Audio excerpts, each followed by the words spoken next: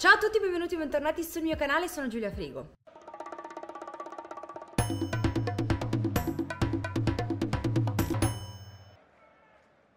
È arrivato il momento di parlare della Colombia. Perché? Perché non solo è in semifinale di Coppa America, giocherà contro l'Uruguay. Trovo che le semifinali di eh, Coppa America siano forse anche più interessanti di quelle eh, dell'europeo, non solo perché è una semifinalista, ripeto, ma anche perché innanzitutto è imbattuta a un record di imbattibilità che eh, va avanti da 27 partite, circa due anni, ed è incredibile se pensate che i colombiani non si erano qualificati per, per l'ultima Coppa del Mondo, sì lo so neanche noi, però il loro ritorno è stato più incredibile del nostro, direi. Come ho già detto, non me l'aspettavo per niente e oggi parliamo della Colombia, abbiamo un po' la squadra, chi sono i protagonisti di questa Colombia e alla fine parliamo dell'allenatore, di Nestor Lorenzo, perché perché ho qualche aneddoto molto carino, molto curioso. Quindi iniziamo subito. Allora, dopo anni di sofferenza per i tifosi colombiani, perché comunque la Colombia era è rimasta un po' all'ombra delle grandi nazionali sudamericane, Argentina, Uruguay, Brasile, eccetera, un po' nell'ombra.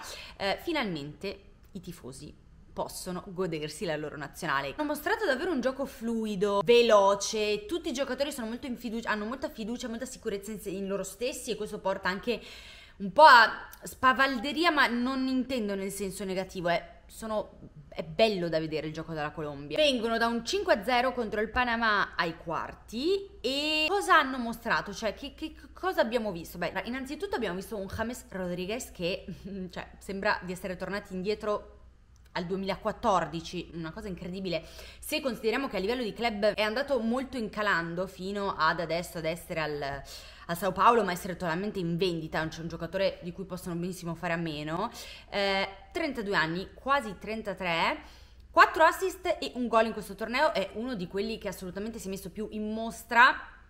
Non solo adesso vediamo gli altri, però è per dire che lui davvero si è presentato a questo torneo con una mentalità completamente diversa, cioè irriconoscibile. A un certo punto quella luce che tutti avevamo visto nel 2014 si è spenta e da lì mm, una discesa inesorabile, ma adesso siamo tornati indietro nel tempo. E quando hanno chiesto all'allenatore Nestor Lorenzo appunto come mai, cosa gli sia successo, che cosa gli avesse fatto, lui ha risposto che corre di meno e pensa di più. Questo ovviamente è possibile perché ci sono altri 10 giocatori disposti a correre per lui. A tal proposito Lorenzo ha detto il calcio è fatto di 11 giocatori ma a volte 10 devono correre per un unico giocatore. Ora, possiamo essere d'accordo? Come no? Mm.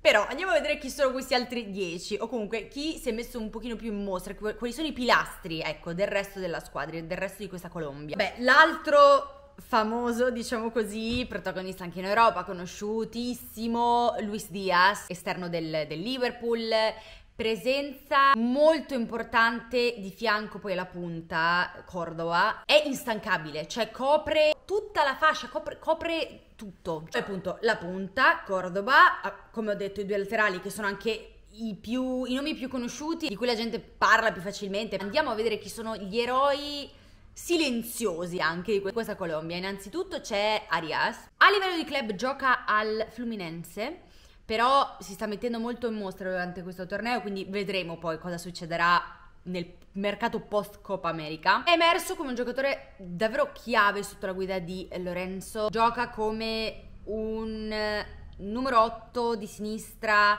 molto intelligente. Tra l'altro è stata una delle sue corse a e delle sue incursioni a portare al primo dei due rigori assegnati alla Colombia contro Panama. Sulla sponda opposta, sulla fascia opposta c'è Richard Rios che invece ha segnato il quarto gol della Colombia contro Panama con un tiro straordinario, davvero bel gol e fra i due c'è Jefferson Lerma, un giocatore che dovrebbe fare un pochino più di attenzione ai cartellini gialli, era ehm, sospeso l'ultima partita, tornerà però per la semifinale contro l'Uruguay, molto importante e l'avevo anche nominato in uno dei video che ho fatto sull'analisi dei gruppi della Coppa America se non sbaglio. Molto importanti anche i terzini e con questo no, si un po' conclude il puzzle, si incastrano bene tutti i pezzi, Munoz e Mojica. Tantissime le loro belle giocate, ma eh, di Mojica mi ricordo per esempio la giocata di con l'esterno del piede sinistro dopo essersi spostato sulla fascia destra contro eh, Panama, mentre bello l'assist di Munoz per il gol contro il Brasile. Ora però in questa seconda parte del video mi voglio però concentrare sulla figura di Nestor Lorenzo, perché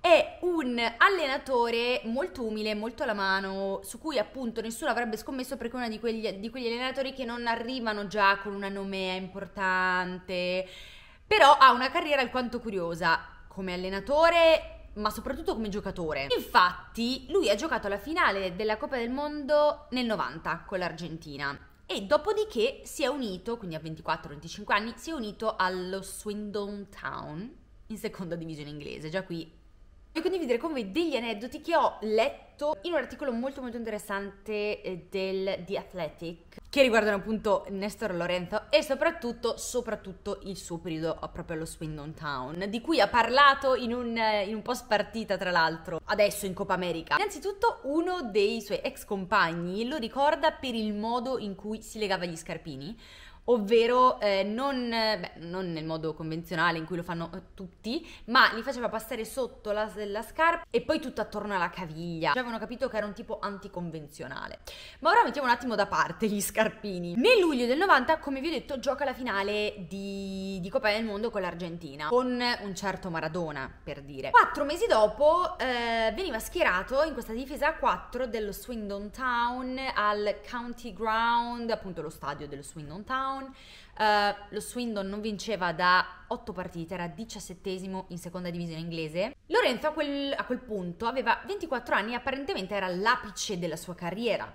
Uh, aveva giocato i giochi olimpici nell'88 con l'Argentina, aveva giocato al mondiale, la, la, finale e aveva giocato l'anno precedente al Bari in Serie A. Quindi la domanda è, mi sembra chiara, come c'è finito allo Swindon Town? In quel periodo l'allenatore del, dello Swindon era Ardiles, che aveva vinto la Coppa del Mondo con l'Argentina nel 78, quindi quello sembrerebbe spiegare che cosa l'ha attirato, però è stata solo la parte finale, perché in realtà lui è andato in Inghilterra convinto di firmare per il Nottingham Forest. Peccato che quando arriva l'allenatore del Nottingham lo porta nel suo ufficio e dice guarda io davvero amerei averti qua, ti vorrei a tutti i costi, però prima devo vendere un giocatore. Sostanzialmente non si farà. Quella trattativa non andrà mai in porto. Lui molto deluso, Nestor Lorenzo molto deluso perché lui era andato pensando di essere un giocatore del Nottingham. A quel punto è un po' una situazione po' brutta perché ha il tempo contato, ha già detto di no a delle offerte interessanti che c'erano eh, dal Paris Saint Germain e dal Valencia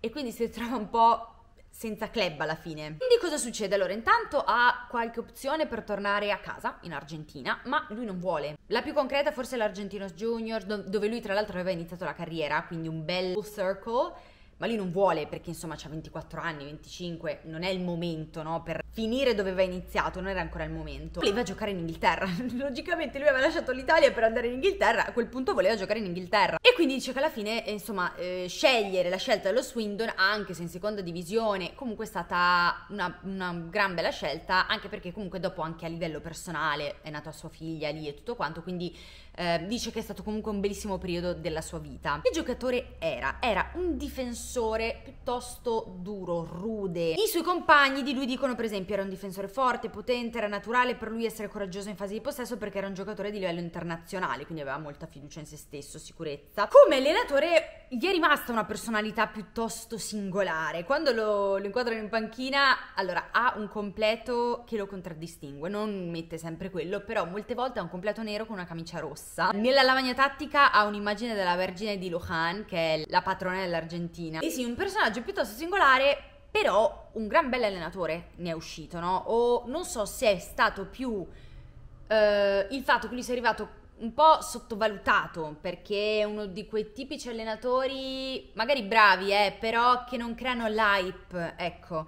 Però lui è alla guida della Colombia da un bel po' e la gran maggioranza, grandissima maggioranza di quel record di imbattibilità lo devono a lui. Quello che mi piace di lui è che è un tipico, è una, una di quelle persone che non importa dove, dove arrivi, uh, ma si ricorda sempre da dove viene o che cosa ha vissuto nel, nel percorso verso l'alto, no? Perché adesso comunque è facile parlare di lui, del suo successo col, con la Colombia, indipendentemente da come andrà questa semifinale, un gran successo questo, questo torneo, per il calcio espresso, per tantissimi fattori. Molti si, si aspettavano, o comunque non si aspettavano, che lui ricordasse quel periodo allo Swindon così in modo così limpido e con così tanto affetto, anche riconoscenza, perché comunque molti hanno detto ha giocato con Maradona, Richelme, Zanetti, perché dovrebbe ricordarsi dello Swindon? E invece, come vi dicevo in uno dei post partita adesso in Coppa America, ne ha parlato proprio col sorriso sulle labbra e non solo perché comunque ha detto che poi ci è tornato anche in visita perché alla fine appunto sua figlia è nata lì,